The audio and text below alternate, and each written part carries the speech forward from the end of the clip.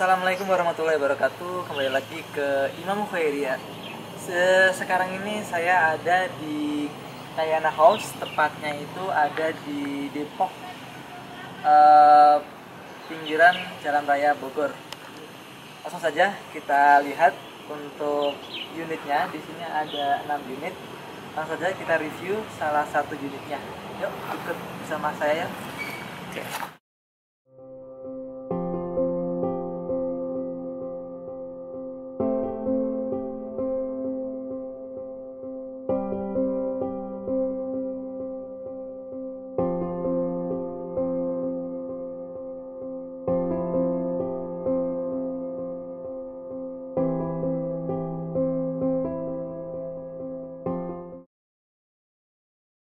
Oke teman-teman, saya sudah di depan unitnya.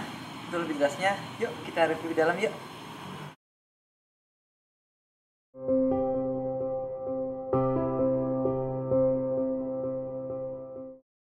Baik teman-teman, eh, sekarang saya ada di ruang tamu. Jadi kemudian di sini buat space sofa. Kalian kan angkutan sofanya di sini. Kemudian di sini bisa taruh di ruang TV, kasih TV.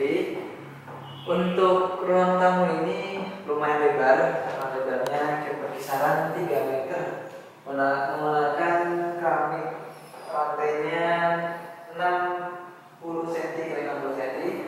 Kemudian untuk jendelanya kita di sini memakai aluminium dan pintunya menggunakan kayu merati cukup untuk eh, unit ini sehingga menjadi lebih indah lagi.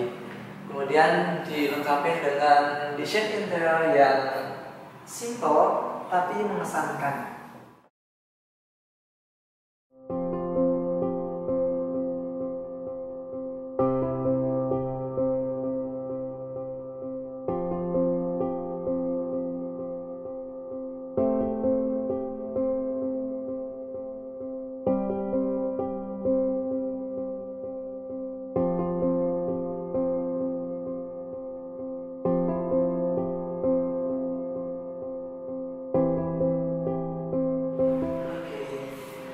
Baik, ini view ruang kamar utama di mana kita disuguhkan tiga jendela.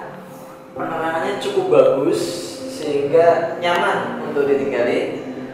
Eh, ruangan ini kisaran tiga setengah kali 2 meter sehingga cukuplah untuk eh, menaruh kasur di sini. Oke, mungkin ini sangat nyaman ya untuk ditinggali dengan tersedia lampu LED satu unit serta sudah dilengkapi dengan stop kontak di sini.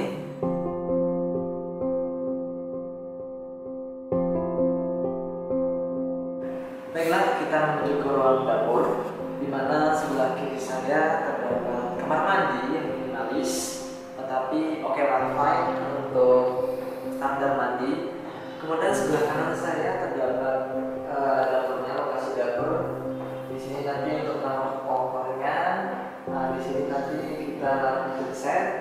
Kemudian di samping untuk wastafel di sana bisa untuk mesin cuci. Dan kemudian di belakang dapur pas itu terdapat eh, ruangan di bawah tangga di mana kita bisa menaruh peralatan gudang di sana. Jadi dapur ini cukup lumayan untuk ibu-ibu yang memasak sehingga penataan dapurnya pun bisa tertata dengan rapi.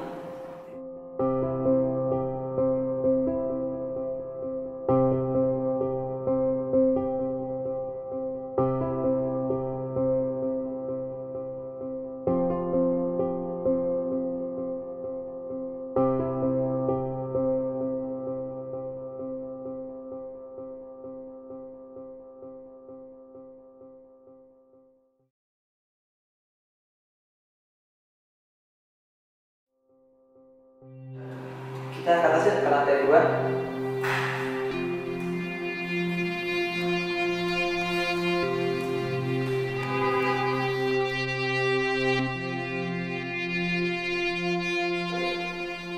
Setelah kita naik tangga di depan di depan tangga ini kita ada space yang cukup kemungkinan bisa untuk satu kursi kita menyesuaikan kebutuhan teman-teman sekalian untuk naruh barang di sini. Kemudian sebelah kiri saya di sini terdapat kamar mandi yang lebih panjang, kisaran satu kali dua meter, sehingga ini dikarenakan kamar mandi yang lebih besar dibandingkan di bawah tadi. Ya, mungkin ini enak untuk santai.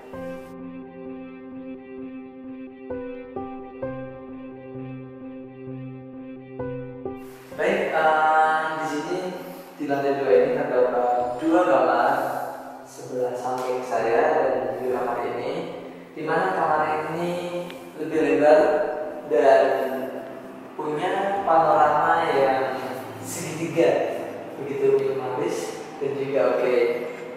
Kemudian untuk jendelanya didesain begitu panjang mengikuti alur segitiga rumah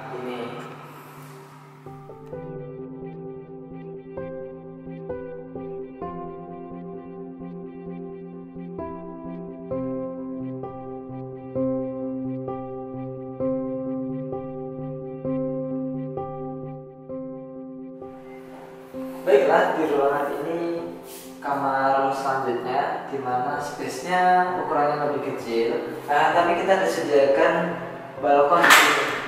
Sehingga nyaman untuk santai dan minum kopi di sini. Bonusnya adalah balkon walaupun space-nya kecil.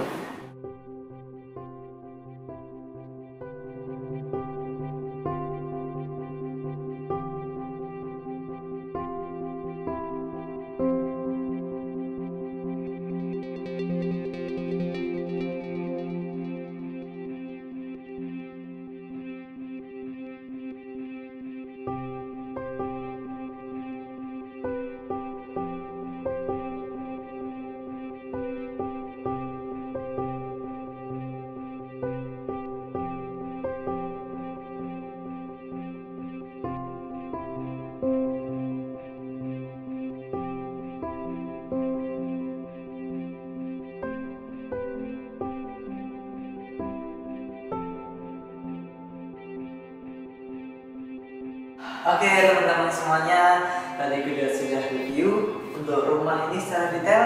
Kemudian untuk kesimpulannya rumah ini cukup menarik buat kita dan harganya pun terjangkau dan mungkin itu saja yang bisa saya sampaikan hari ini. Ketemu lagi pada lain hari dan juga waktu-waktu selanjutnya. Goodbye teman-teman semuanya.